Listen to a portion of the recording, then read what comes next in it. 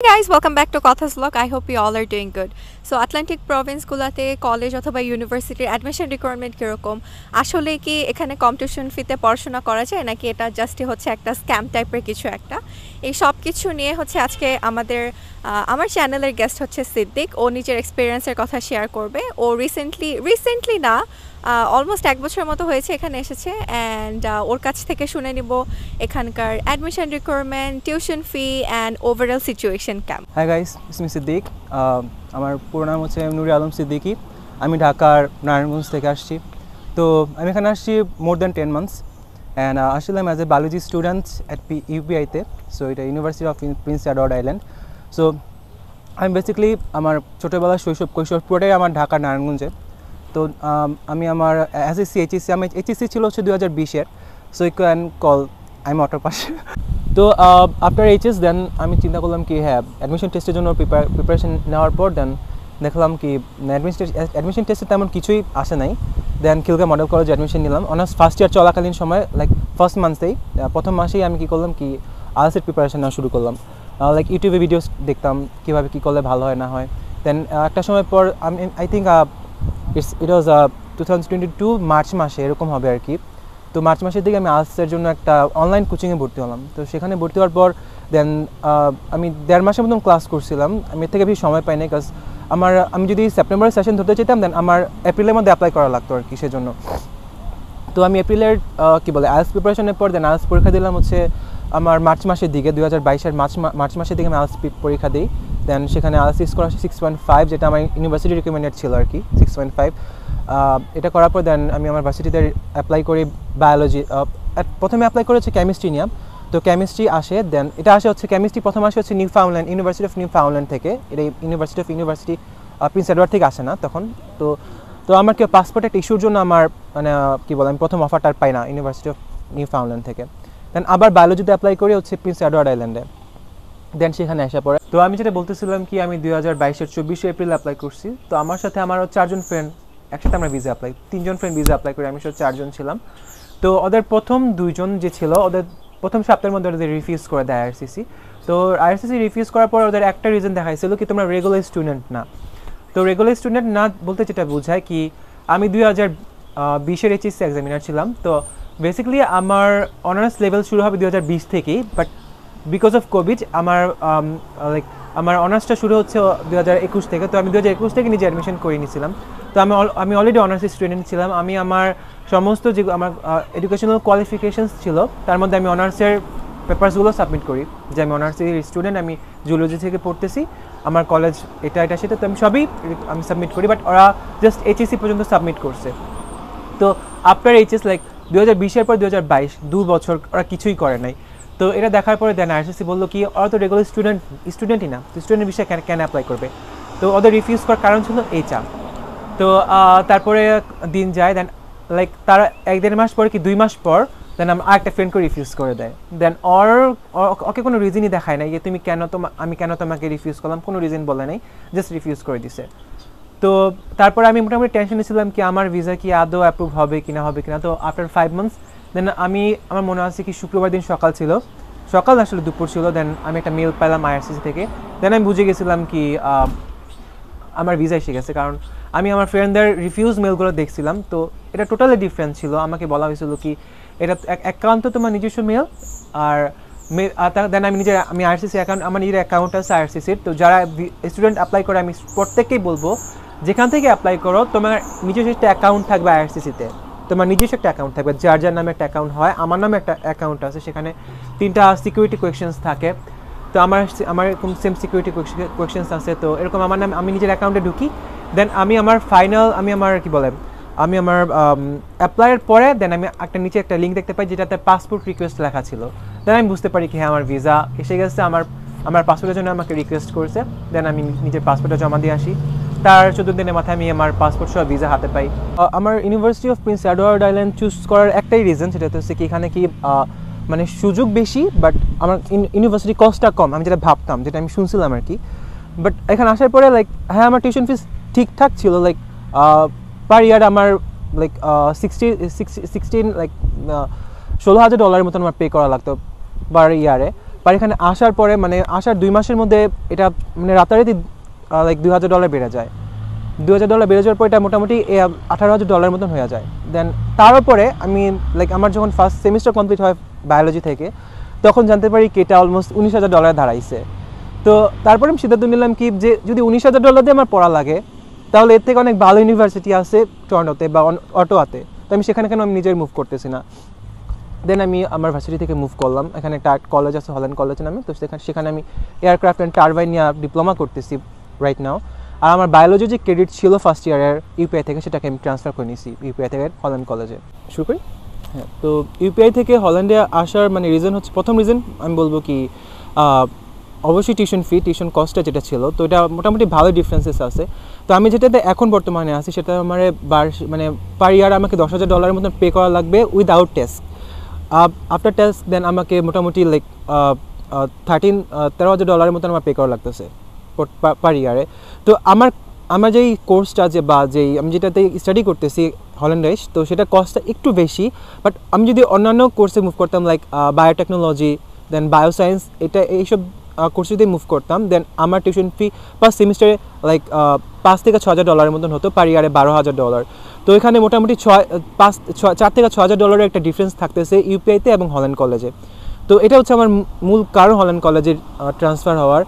আর UPI থেকে Holland কলেজে আসার প্রসিডিওর খুব একটা কঠিন না, আমি যতটুকু দেখছি। আমি প্রথম দিন ওদের নিজস্ব যে ওয়েবসাইট আছে সেটা মধ্যে মেল করছি। মেল করার পর ওরা বলল কি, এখানে ওদের একটা ড্যাশবোর্ড নামে একটা ওয়েবসাইট আছে, ওদের নিজস্ব ওয়েবসাইট তো ওইখানে লগ ইন করার পর নিজের আইডি নিজের পাসওয়ার্ড সব কিছুই করার পর দেন আমার যে স্টাডি পারমিটটা ছিল, যেটা আমি কানাডাতে ঢোকার সময় পাইছি, সেটা সাবমিট করছি আর ভ্যালিড পাসপোর্ট সাবমিট করছি। আফটার দ্যাট ওরা আমার থেকে আইএলসটা চাইছে যে তুমি আইএলসে কত পাইছে, কারণ ওদের রিকোয়ারমেন্ট অনুযায়ী আইএলস সিক্স পয়েন্ট ফাইভ লাগে। নট অনলি ওদের like every single college university in Canada ওদের রিকোয়ারমেন্ট হচ্ছে হচ্ছে সিক্স পয়েন্ট ফাইভ লাগবে। দেন করার পরে দেন ওরা বলল কি, ঠিক আছে ইটস ওকে দেন আমি বলল কি, যে কোনো একটা তোমার তুমি একটা কোর্স চুজ করতে হবে তোমাকে। দেন আমি প্রথমে ইলেকট্রনিক সায়েন্সে ট্রাই করেছিলাম বাট ওখানে রিকোয়ারমেন্ট আরও বেশি কিছু ছিল লাইক আমাদের, আমাকে এখানে অন্তত কয়েকটা কোর্স করা লাগবে ইলেকট্রনিক্সের উপরে লাইক দুই মাসের, এক মাসের এরকম কোর্স হয় এখানে, ওগুলা করা লাগবে। তো আমি বললাম কি, আবার দুই, এক মাসের কোর্স করে এখন সামার চলতেছে, আমরা, আমি কি প্রিপেয়ার ছিলাম না আবার ওইসব কোর্স করার জন্য। দেন নার্সিংয়ের জন্য ট্রাই করলাম। দেন নার্সিংয়ের জন্য ট্রাই করে সেখানেও আরও ওরা ডিফারেন্স কয়েকটা কতগুলো কোর্স লাগে। ওদের কলেজে ভর্তি হওয়ার জন্য। আর আগে কয়েকটা কোর্স লাগে। সিপিআর মানে এরকম কয়েকটা কোর্স লাগে। তো সিপিআরটা আমার ছিল বাট অন্যগুলো আমার ছিল না। তো আমি ভাবলাম, ঠিক আছে, এটাও এটাও বাদ দিয়ে অনেকটা ট্রাই করি। দেন এয়ারক্রাফট অ্যান্ড টারবাইন এটা ডিপ্লোমা যে ইঞ্জিনিয়ারিংটা আছে, সেটা ট্রাই করলাম। দেন হ্যাঁ তার এটা ট্রাই করার পরে দেন সাথে সাথে আমি অফার লেটার পেয়ে গেলাম। তো তারপর আমি নিজের টিউশন ফিস সাবমিট করলাম।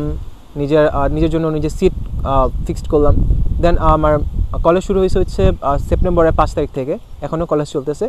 আর আমি যেহেতু, আমার কোর্সটা বেসিক্যালি ছিল হচ্ছে one one year and six মান্থসের but আমি যেহেতু আমার বায়োলজি ক্রেডিটটা ট্রান্সফার করে নিয়েছি অ্যান্ড হ্যাঁ আমি আমার ক্যালকুলাসের ক্রেডিটও ট্রান্সফার করে নিয়েছি। দ্যাটস ওয়াই আর কি আমাকে এখন নতুন করে ক্যালকুলাস আর বায়োলজি করা লাগতেছে না। আমার জাস্ট এখন ওয়ান ইয়ার কোর্সের মধ্যে আমার কোর্স কমপ্লিট হয়ে যাবে। যেটা বলল, এখানে আপনি একটা ইউনিভার্সিটিতে ফার্স্টে আসতে পারেন। আসার পরে আপনি যদি মনে করেন টিউশন ফিটা বেশি হয়ে যাচ্ছে বা আপনার কোর্সটা ভালো লাগছে না, তাহলে এখানে একটা কলেজে আপনি সুইচ করতে পারেন। বাট সেটার জন্য আপনাকে মেক শিওর করতে হবে যে আপনি যে কোর্সটা সিলেক্ট করছেন সেটাতে আপনি ইউনিভার্সিটিতে যে ক্লাসগুলো করেছেন, ওটার ক্রেডিট যেন ম্যাচ করে। নইলে আপনাকে এক্সট্রা কিছু কোর্স করতে হবে, যেটা সিদ্দিক বলল।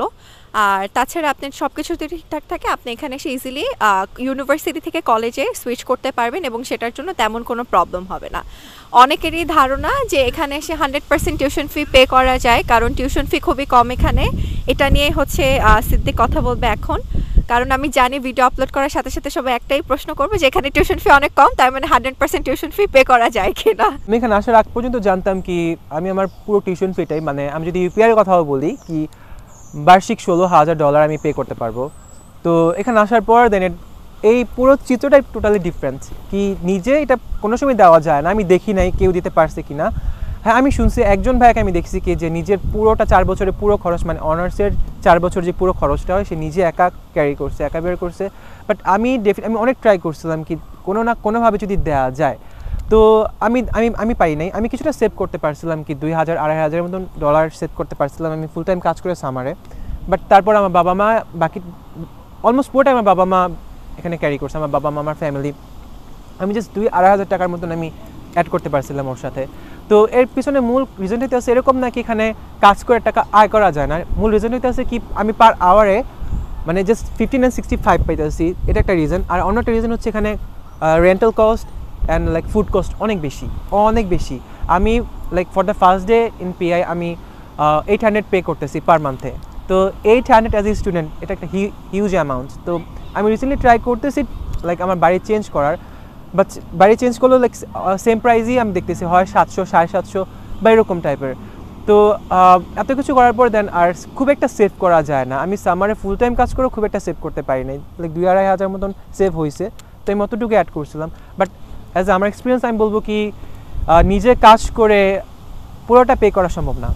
এখানে একটা জব রিকোয়ারমেন্ট আর প্রথমেই বলছি কি যে, এখানে যারা স্টুডেন্ট আছে লাইক অ্যাকসেপ্ট লাইক আমাদের সামার ভেকেশন ছাড়া, তো আমরা ফুল টাইম স্টুডেন্টরা ফুল টাইম কাজ করতে পারে না। তো যারা আন্ডার লিমিট তারা পার উইকে বিশ ঘণ্টা করে কাজ করতে হয় বা এর বেশি তারা করতে পারে না, তারা অ্যালাউড নেই বেশি করার জন্য। তো তো লাইক একটা সুযোগ আছে সামারে তো সামারে যদি ফুল টাইম কাজ করে, আমি ফুল টাইমও বলব না, আমি বলব মোর দেন ফুল টাইম লাইক পার পার উইকে যদি more than fifteen fifty hours বা সেভেন্টি আওয়ার্স সিক্সটি আওয়ার্সের মতন কাজ করা যায়, তাহলে হয়তো বা আটলান্টিক প্রভিন্সের মধ্যে টিউশন ফিজটা পে করা যেতে পারে। I am not sure but এরকমটা হতে পারে। কারণ আমি একটা ভাইকে দেখছি যে লাইক ও আমাকে বলছে কি, ও নাকি মোর দেন সেভেন লাইক সত্তর ঘণ্টা কাজ করতে পার উইকে সো ও পে করতে পারছে বাট আমি করতে পারি নাই। আমি, আমার মনে হচ্ছে কি, আমি সামারের মধ্যে একদম খুব ম্যাক্সিমাম পঞ্চাশ ঘণ্টা আমি কাজ করতে পারছি পার উইকে তো তা করে আমি খুব একটা সেভ করতে পারি নাই। আমার নিজের রেন্টাল কস্ট আমার নিজের ফুড কস্ট পে বেয়ার করে দেন, আমার পক্ষে সম্ভব হয় না কি খুব একটা সেভ করা। যতটুকু সেভ করতে পারছে, ততটুকু আমি অ্যাড করছি আমার টিউশন ফির সাথে বাট দ্যাটস ইট আমি বলব কি যে হ্যাঁ হইতে পারে যদি সামারে মোর দেন সিক্সটি আওয়ার্স কাজ করা যায় পার উইকে এটা অ্যান্টিক প্রভিন্সের আসার আরেকটা রিজন আমি বলব কি পিয়ার অ্যাপ্লিকেশন বা এদিক থেকে একটু সুবিধা পাওয়া যায়। কি আমাদের আটলান্টিক প্রভিন্সে কি হয় অনেক তাড়াতাড়ি অফ জব লেটার দিয়ে দেয়। তো জব লেটারটা হচ্ছে কি, যে আফটার গ্রাজুয়েশন আপনার আফটার ডিপ্লোমা আমাদের একটা ওয়ার্ক পারমিটের পর আমাদের একটা জব লেটার প্রয়োজন পিআর অ্যাপ্লাইয়ের জন্য পার্মানেন্ট রেসিডেন্টের জন্য। তো আমাদের এই প্রভিন্সে এই জব লেটারটা খুব তাড়াতাড়ি নেওয়া যায়, খুব তাড়াতাড়ি নেওয়া যায়। মানে কাজ করলেই হয় নাকি, কাজ করলেই জব লেটারটা দিয়ে দিবে। ছয় মাস কাজ করলে বা এক বছর কাজ করলে জব লেটারটা পাওয়া যায় খুব ইজিলি আর জব রিকোয়ারমেন্ট লাইক জব করার জন্য খুব একটা বাধ্যবাধকতা বা সীমাবদ্ধতা থাকার প্রয়োজন পড়ে না কি তোমার এটা হওয়াই লাগবে যে কোনোভাবে জবটা নিয়ে নেওয়া যায়। বাট কিছু কিছু সময় হয় কি জবটা জব পাওয়াটা টাফ হয়ে যায়। কি খুব একটা তাড়াতাড়ি জবটা পাওয়া যায় না, একটু ট্রাই করা লাগে, একটু সময় নেওয়া লাগে, একটু ধৈর্য ধরা লাগে। বাট পিআরের জন্য আমি বলব কি আটলান্টিক প্রভিন্স ঠিক আছে। আটলান্টিক প্রভিন্সে পিআর যদি পিআর অ্যাপ্লিকেশনের জন্য এখানে আসা যায় দেন ইটস ঠিক আছে, এটা ঠিক আছে, অন্য কিছু দরকার লাগে না। বাংলাদেশ থেকে এখানে আসা এখন অবধি আমার বাবা মা আমার জন্য মোর দেন বিশ লাখের মতন পে করছে। তো একদম পাসপোর্ট থেকে শুরু করে আমার IELTS preparation IELTS exam then হচ্ছে আমার প্রথম প্রথম সেমিস্টার মানে টিউশন ফিস এখানে আমি দুই হাজার তেইশে জানুয়ারি সেমিস্টার ধরছিলাম বায়োলজিতে তো সেখানে টিউশন ফিস আমার টিউশন ফি আমার বাবা মা আট লাখের মতো পে করছিল। দেন তারপরে আমি দুই মানে তারপর পরে দুই মাসে জানতে পারি কি আমার টিউশন ফি দুই হাজার ডলার বেড়ে গেছে। তো তারপরে আরও দুই হাজার ডলার পে করে। তো এর জন্য আমি বাংলাদেশ থেকে একটা কার্ড নিয়ে আসছিলাম। আমার আমার প্রিমিয়াম ব্যাংকে একটা কার্ড ছিল ইন্টারন্যাশনাল কার্ড নামে। ওটাকে অনেকে ট্রাভেলার কার্ডও বলে। তো আমি সেই কার্ড নিয়ে আসছিলাম। সেখানে দশ হাজার ডলার দশ হাজার ইউএস ডলার ইনডোর্স করা ছিল। তো আমি যতটুকু জানি কি পঞ্চাশ হাজার ইউএস ডলার মতন ইনডোর্স করা যায় একটা ট্রাভেলার কার্ডে তো ওটা এক বছরের জন্য। তো, আমার বাবা মা সেই কার্ডে এতদিন টাকা পে করছে, আমার জন্য টাকা পাঠাইছে বাংলাদেশ থেকে। তো রিসেন্টলি সেই কার্ডের মানে টাকার লিমিটটা শেষ হয়ে গেছে। আমার বাবা মা এখন আর কার্ডের টাকা পাঠাতে পারবে না। মানে আনটিল টু থাউজেন্ড কী বলে, এই বছর শেষ পর্যন্ত আর কি। টু থাউজেন্ড টোয়েন্টি থ্রির শেষ পর্যন্ত আমার বাবা মা টাকা টাকা পাঠাতে পাঠাতে পারবে না। যদি আমি সেখানে পঞ্চাশ হাজার ডলার ইনভেস্ট করা থাকতো দেন পুরো বছরে আমার লাইক পঞ্চাশ হাজার ডলারের মতন আমি নিয়ে আসতে পারতাম বাংলাদেশ থেকে এরকম। তো that was all for today I hope যারা হচ্ছে ইউনিভার্সিটি থেকে কলেজে সুইচ করার ট্রাই করছেন অথবা আটলান্টিক প্রভিন্সে আসা ট্রাই করছেন, তাদের অনেক কোয়েশ্চেনের অ্যান্সার আজকে পেয়ে গিয়েছেন। আর নেক্সট আরেকটা ব্লগ আসবে ইউপিআই নিয়ে। ওখানকার একদম ডিটেল ভিডিও একটা চলে আসবে। আর হচ্ছে কারও যদি কোনো প্রশ্ন থাকে কমেন্ট বক্সে জানাতে পারেন। আমার ফেসবুক পেজে নক দিতে পারেন, অথবা আমাকে ইমেল করতে পারেন। আমার ইনস্টাগ্রামেও নক দিতে পারেন। পরে একটা ইনফরমেটিভ ব্লগ দেখার জন্য সবাইকে সাবস্ক্রাইব করতে হবে কথাস ব্লগ অ্যান্ড পরের বার আসা পর্যন্ত সবাই অনেক ভালো থাকবেন। Thanks for watching